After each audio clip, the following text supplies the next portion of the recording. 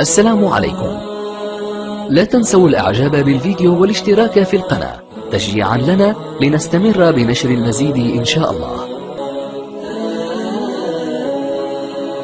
ونواصل أيها الأحبة الكرام اللحظة نتحول إلى فاس معنا لاله أميمة. السلام عليكم. وعليكم السلام ورحمة الله وبركاته. قريبة لاباس عليك بخير الحمد لله الشريفة بارك الله فيك. الله يجازيك بخير. الله يجازيك بخير. بغيت نسولك واحد السؤال. مرحبا. يعني أول حاجة أنا عارفة بأنه أي حاجة بغاها لنا الله يعني الاختيار اللي أحسن اختيار هو الاختيار ديال الله سبحانه وتعالى. أكيد. هذه عارفة. نعم. دابا أنا أنا المشكل اللي عندي هو انني أنني أنا واحد الإنسان يعني عندي واحد الأمنية في حياتي ما ما عمرني طلبت شي حاجة في حياتي لا فلوس لا والو خ- انايا فقيرة ماشي شي وحدة اللي زعما غنية. إيه. ما عمرني طلبت يعني شي حد عنده الفلوس ولا بغيت الفلوس ولا نتزوج بشي واحد عنده الفلوس هادشي كله ما باغياش أنا. نعم. لأن أنا أمنيتي الوحيدة هي أنني نتجمع مع واحد الإنسان اللي أنا أنا باغياه فهمتي؟ أيه.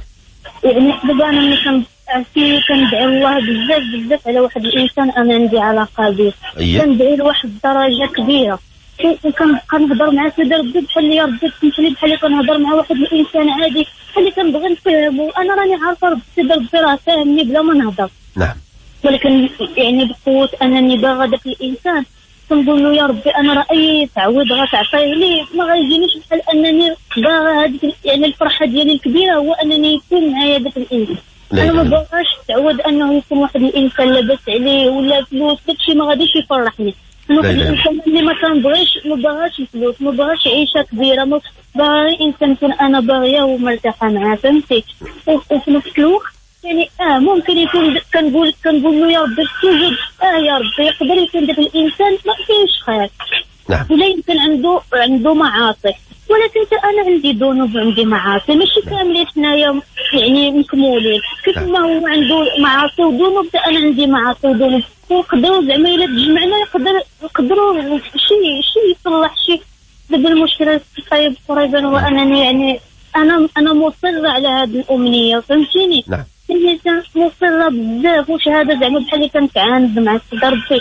أنا الفكرة اللي عندي في دماغي كنقول كنقول له يا ربي علاش أنا مصرة على هذه الأمنية حيت أنا عارفك باللي أنت قادر على كل شيء. فعلا انت قادر انت قادر تحقق لي الأمنية ديالي وأنا هذه الأمنية ما, ما بغاتش تزول لي من, من دماغي.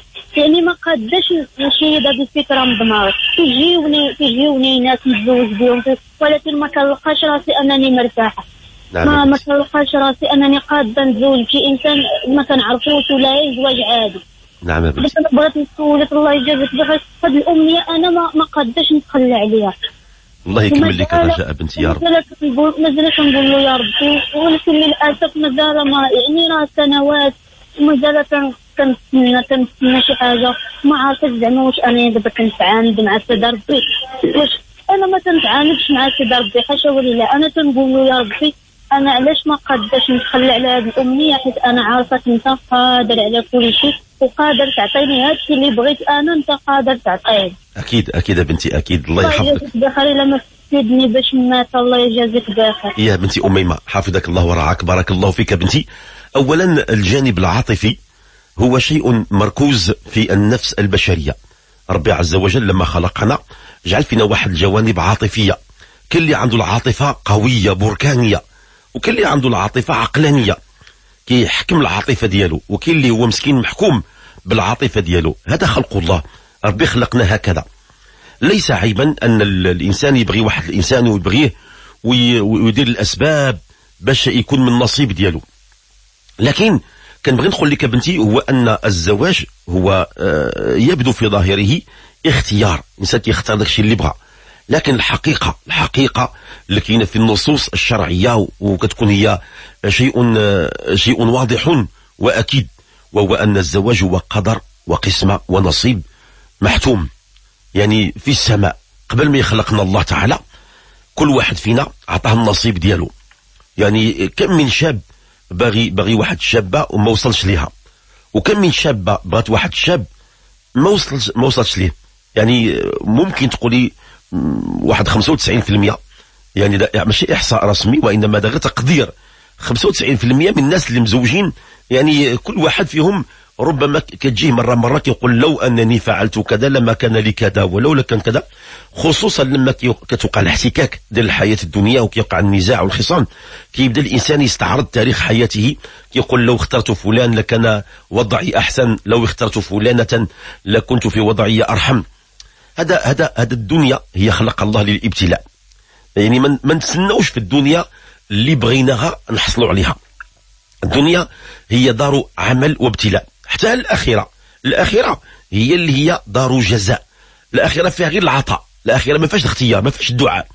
الآخرة هي فيها اللي بغيتي يعطيك الله واحد الحاجة اللي كتقول افعل يفعل. دعواهم فيها سبحانك اللهم وتحيتهم فيها سلام. وآخر دعواهم أن الحمد لله رب العالمين. هذه الآية قال لك هي المفتاح ديال أهل الآخرة كتقول سبحانك اللهم اللي بغيتها كتحصل. داك الشخص اللي بغيت تزوج به كتقول سبحانك اللهم كيحضر عندك. الشبيك اللبيك اللي بغيتيها بين يديك اللي عجبتك بغيتي قصور بغيتي ترجع للماضي بغيتي تمشي للمستقبل بغيتي رحلة عبر الزمن بغيتي ت... اللي بغيتي. كتقول سبحانك اللهم. غير كتقولها في الآخرة كتحضر ديك الساعة.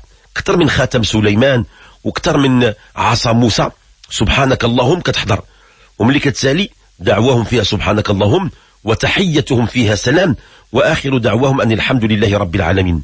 أما الدنيا هي ربي خلقها من الأول وخبرنا بأن ماشي أي حاجة بغينا غادي نلقاوها فيها. وإنما غنقنعوا بما قسم الله لنا اللي عطاها لنا مولانا ناخذوها الرضا. الرضا بما قسم الله تعالى. اللي عطاها لي. شحال من واحد كيسمعوا فينا الآن؟ شحال من متزوج؟ ربما غير سعيد مع زوجته. وشحال من متزوجة غير سعيدة مع زوجها؟ وشحال من واحد خدام في واحد الوظيفة غير مرتاح فيها؟ وشحال من واحد داخل واحد التجارة ما كانش كيتمناها؟ وهكذا الحياة الدنيا هي خلقها الله تعالى وصممها وبناها على النقصان. علاش بناها على النقصان؟ حتى لا نغتر بها. حتى ما نبقاوش دائما مع مع هذه الدنيا.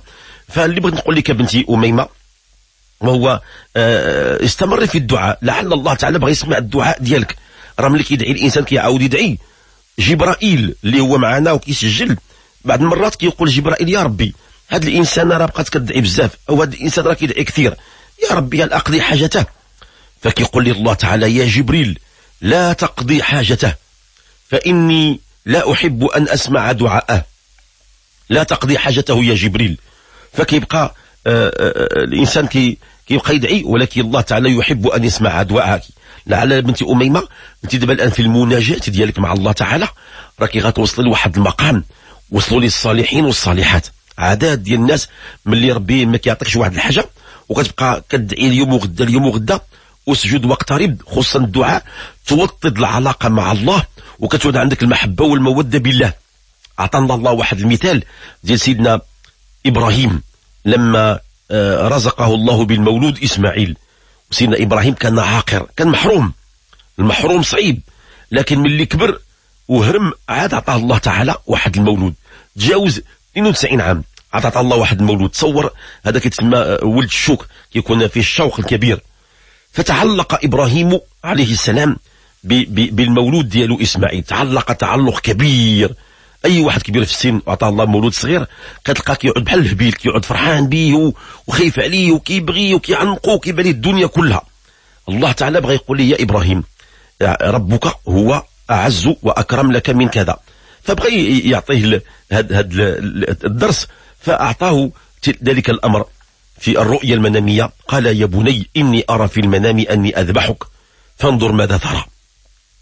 فعزم إبراهيم أعطى جاء الأمر الإلهي في الرؤية المنامية ورؤية الأنبياء. حق أن يذبح فلدة كبده لماذا؟ لأن الله تعالى بغى إبراهيم يكون لله قلبك مع الله. أي نعم المحبة والحب هادشي كله جميل. قيم إنسانية لكن الإنسان يخلي قلبه مع الله وخلي الله هو اللي اختار لنا واللي أعطاها لنا مولانا بسم الله وفيها الخير. ولو اطلعتم على الغيب لعلمتم ما فعل ربكم إلا خيرا. شحال من واحد دابا نادم على اختار الاختيار؟ لو أن الله تعالى وراك الغيب لا لبين لك من الاختيار ديالك كان غادي يكون فيه متاعب أكثر. اختيار الله لنا خير من اختيارنا لأنفسنا. ولو اطلعتم على الغيب لعلمتم أن ما فعل ربكم إلا خيرا. والله تعالى لا يسأل عما يفعل وهم يسألون. يعني كل ما فعله الله خير. فبغي نقول لك بنتي خليك في الدعاء مع الله. قل يا ربي اكتب لي هذا الإنسان. يا واحد يا أحد يا فرد يا صمد. اكتب لي يا ربي زوج وولد من هذا الشخص. ادعو الله تعالى. فإن أعطاك المولى. بسم الله توكلت على الله. أنت من السعادة. إذا قدر الله تعالى أشياء أخرى. نبغيك بنتي ما تحزني. ما ما ما تشعر بالاكتئاب. وإنما قل يا ربي أنا أنا معك. اختار لي اللي اختار أنا حبي لله. وتعلقي بالله. وهنا غتحس تحس يا بنتي. فعلا بأن هذوك يتسموا العاشقين في الله المحبين لله. في التاريخ هم كثر آه، كانت إمامتهم رابعة العدوية وهذه فرصة أن الإنسان يزيد تقربا إلى الله. وربي غادي يعطي داك الشيء اللي بغى. غير زيد آه، آه، ربي يحب العبد الملح أسأل الله تعالى أن يكتب لك هذا الشخص من نصيبك وأن يرزقك السعادة والهنا. عاجلا غير آجل. وأسأل الله تعالى لكل المؤمنين والمؤمنات أن يقضي حوائجهم. يا فالق الحب والنوى.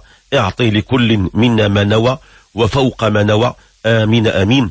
وصلى الله على سيدنا محمد وعلى آله وصحبه أجمعين. والحمد لله رب العالمين. السلام عليكم.